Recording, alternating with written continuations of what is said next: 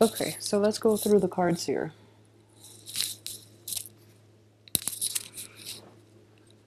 Okay, so um what I do sense for this month is one of the big overarching theme is that um you're going to have to change your approach when it comes to um relating to another person, okay? I have the Ace of Swords here.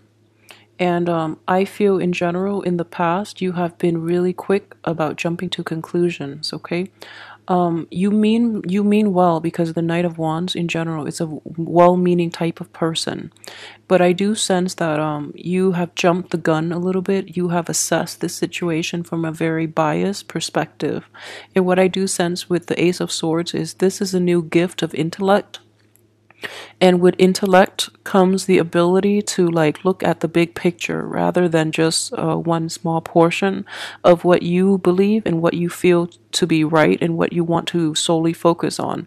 It's um seeing having the breadth and the depth of vision in order to assess a situation entire in its entirety and to draw conclusions from a well informed source Okay, so I hope this helps. It, it is coming in very strongly and it is going to help you greatly in navigating a lot of the challenges that are coming, especially for this month of April. I do feel you have a lot of positive things as well, but um, the things you're dwelling on might be the wrong things altogether and the things that are no longer uh, conducive to your own growth. Okay.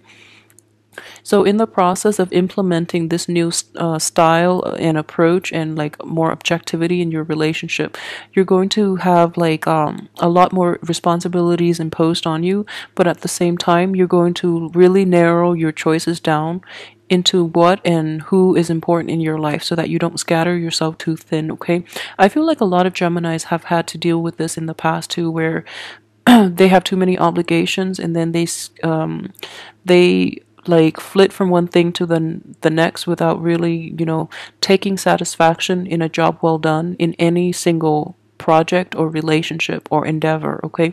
So really focus and hone down uh, and like uh, zero in on what it is that is important to you that you want to manifest and that you want to um, proceed with and narrow your choices so that you're not uh, burdened by you know mid-month okay?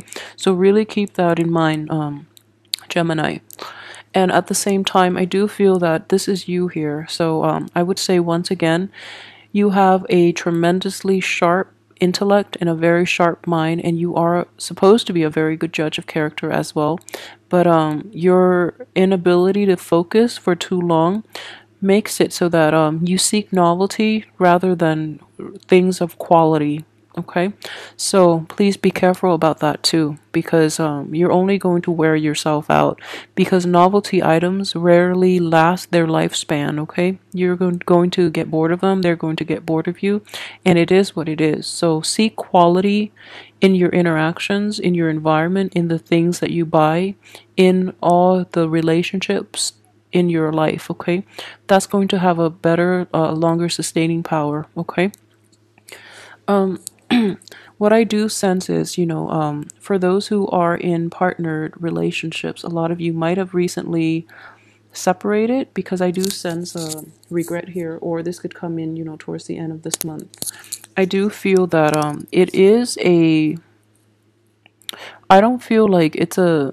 Yeah, it's it's a parting of the ways that is uh, regretful but I don't feel that, um, and it is always hurtful, you know, no matter who we uh, break away from, it is always painful. But I do feel in this situation that um, it it has a satisfying resolution, is what I'm sensing. You know, you're you are hurt because it is a sword energy, and you are a sword sign, um, an air sign, excuse me. So um, I feel that you're going to hurt, be hurt more than the other party. Okay, for those of you who have dealt with like um a fire sign, I do sense that um this fire sign is very honest with you, very upfront, very honest with you, and um, you have to be, you know, be willing to accept the truth because it's going to help you heal a lot faster. For those of you who are dealing with a fellow air sign, I would say that um, this person might be a little too jarring, a little too cutting with their words, or they might not have been entirely honest with their actions and their words. So it's causing a big rift in the relationship, and that's why it's really difficult for you to heal from it because you want the truth and they're not forthcoming with it, okay? The um, Fire signs, on the other hand, are completely blunt, completely honest, and they're approaching this matter in a very mature way. So listen to what they have to say and, you know, move past it because I do feel that you're going to be okay. And at the same time, I do feel more than anything, this um this pain in your heart is going to be a big obstacle for you if you don't let it go fast enough, if you don't, you know, find like peace within yourself, it is going to be a a big like block to the implementation of your projects and into the implementation or to the enjoyment of the rest of your life okay? Because regardless of what it is you do have a very uh, stable home environment. And um, this indicates support like family support friendships as well a very stable environment in which you can retreat like a safe haven into to which you can retreat and um, the people around you they are very supportive okay? They are very supportive of you and they are they want to be there for you.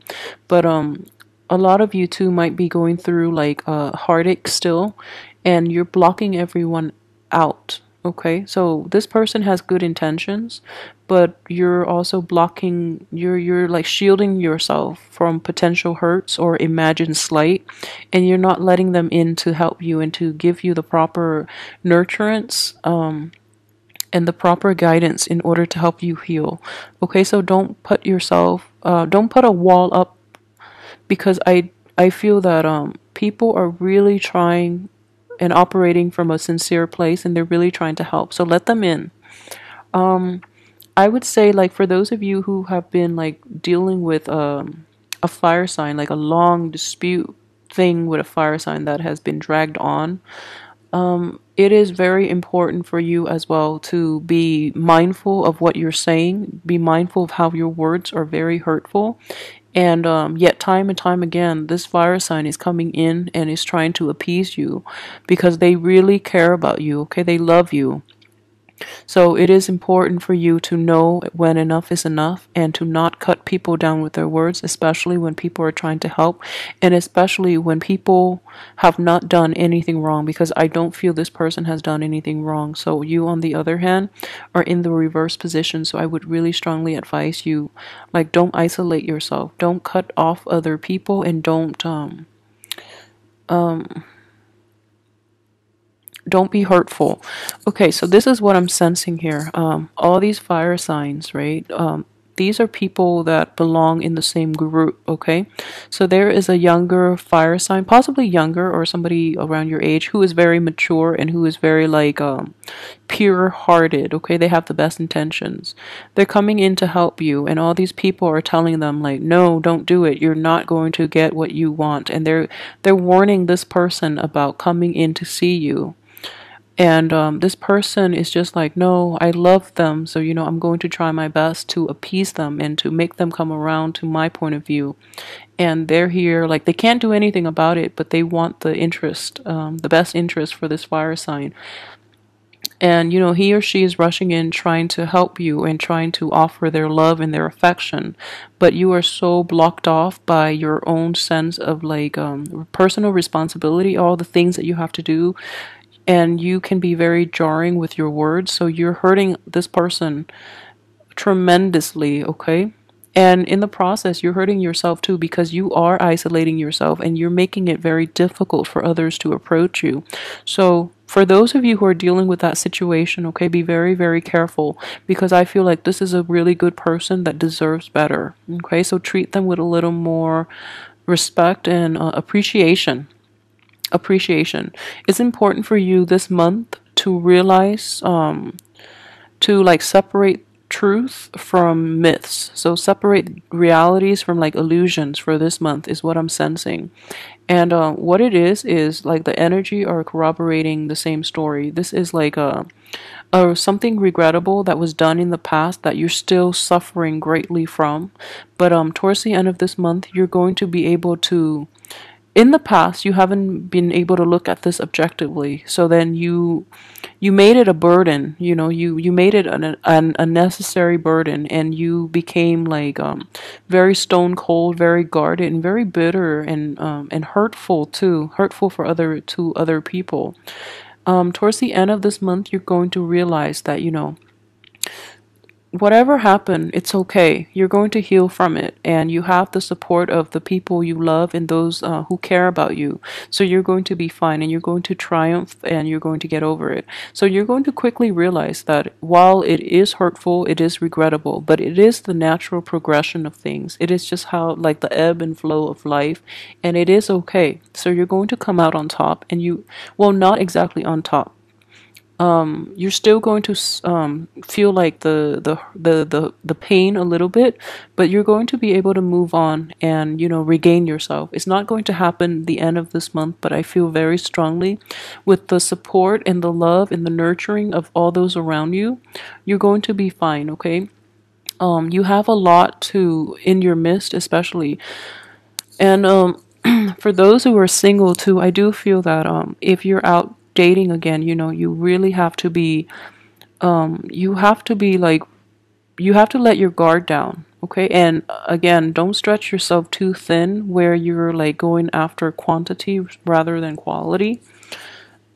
So, um, if you're dealing with a fire sign, I feel that you are in good hands. So, um, let this person in because they, you know, they, they bounce around and they, they they come and go. So you have a very small window of opportunity coming in the very beginning of this uh, month in order to land this person. So let your guard down a little bit, okay?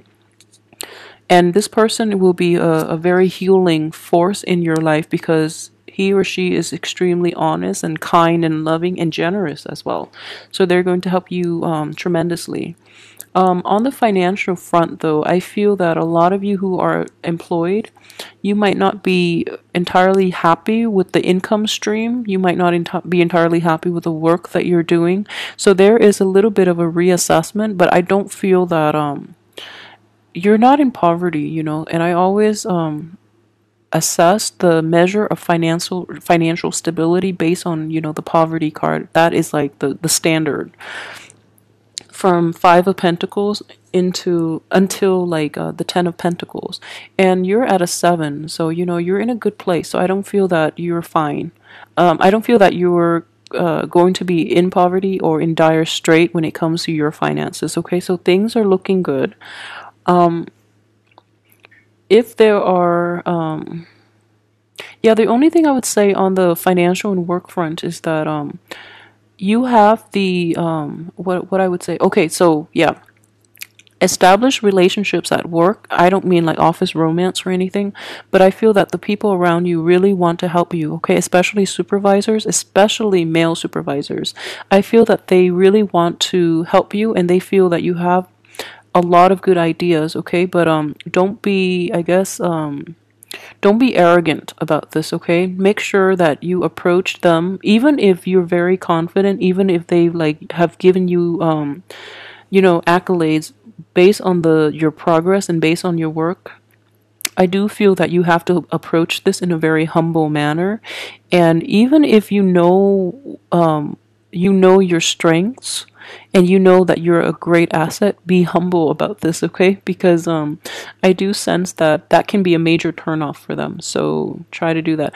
I feel that a lot of you too might be undergoing like review, like um, um, performance reviews, and other people are like, okay, that. Oh, so if you're going through that, be very careful. Um, be on top of your game, and you know, be very careful about yeah, I, I feel very strongly it is performance review mainly because of this. This is like um, ten of uh, pen uh, 10 of rods, excuse me, 10, 10 of wands.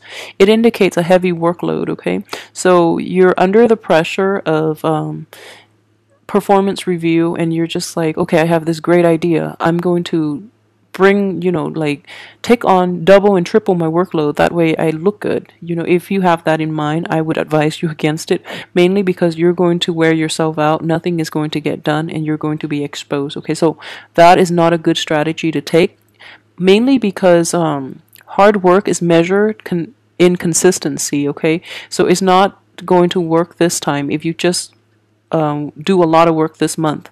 It's a measure of all the work that you've contributed. It's an average of all the work you've contributed and that you've done for this company.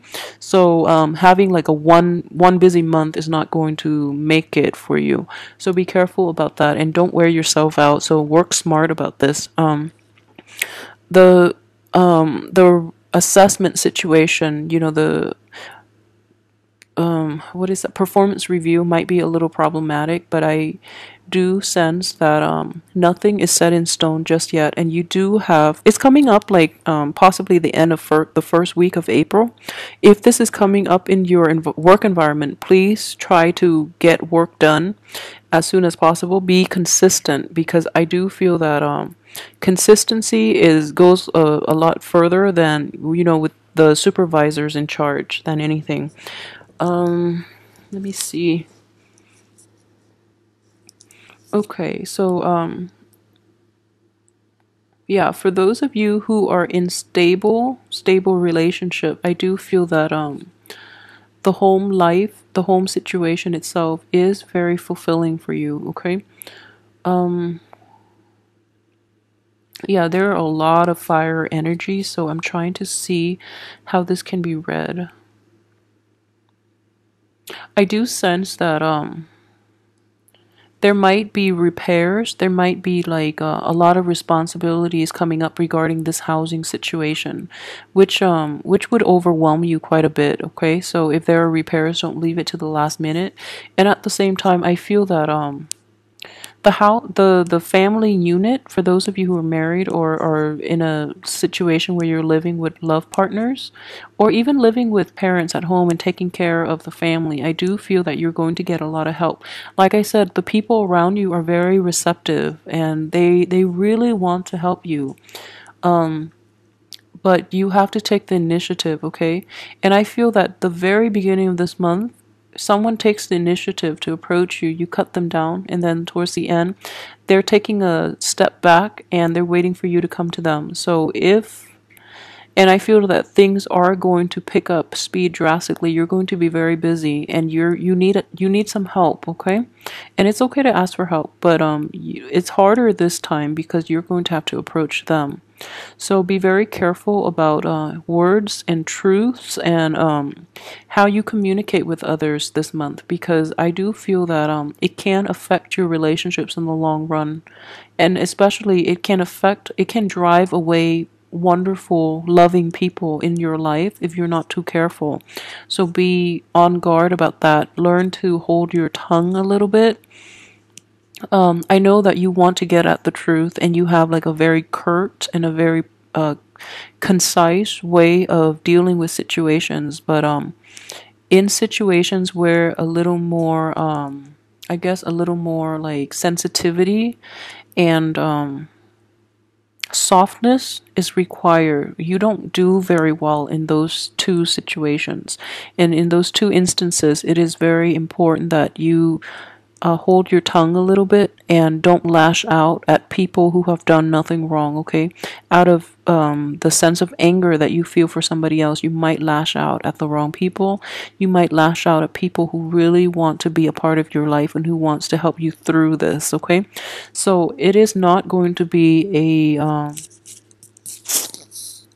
it's not going to be a, an easy month because with the Three of Swords, things are fair um, rarely things are rarely smooth with the three of swords and it's going to trigger a lot of old hurts and uh, repressed anger. So um, i would just advise you you know um, let down your wall let people come to you and approach you and let um, let down your pride more than anything. Let down your pride okay? Because um others can't come in because you've resurrected this wall that blocks you off and that shields you from all the pain and you've had it resurrected so um far in the into the past that um it's kind of like a, a, a part of your lifestyle a part of your wardrobe almost and you don't know what it is what it feels like to like not have it up because um, it leaves you defenseless, which I understand. Okay, but um, what I do sense is this: we do have these two one energies. this is um, a big burden, but it could also be like um, putting up your walls so that you don't get hurt and uh, shielding yourself from having to face like the harsh realities of life. So in in essence, you're not really enjoying your life, nor are you living it healthily. Yeah. And in this situation, what would be very beneficial for you is to unload some of your burden. You can still have some wall up. You can still like um, draw firm boundaries for yourself, okay? But not like this because this seems like it just doesn't look very enjoyable. This does though. So, you know, uh, let go of some of those wands and you don't have to protect yourself to that extent, okay? Um, there might also be like a family reunion, a very happy celebration, or a um, even like a, a wedding that um, might take place this um, month. And I do feel that um, it's going to be like a very um, a very cheerful and a very like non-threatening way for you to start to open up to other people and to um, let down your guard and to heal a lot of this pain that you've been harboring okay? So um yeah learn to let down your defenses and let others in. And uh, at the same time heed the advice of the other people because i don't feel that you're seeing the whole picture just yet okay? So overall i do hope that you have a wonderful april 2015 and um this is not a good card to get but i do feel that um it's important to address it, okay? And it's important to get th- to the root of the matter because once it's there, the healing process can begin. So you have to be really honest with yourself about that situation. Um, the other person's role in it, your role in it, and how it uh, came to be, so that you can leave old habits behind and that you can like be honest about um, how you can move forward from this. Okay, so um, thank you so much for watching.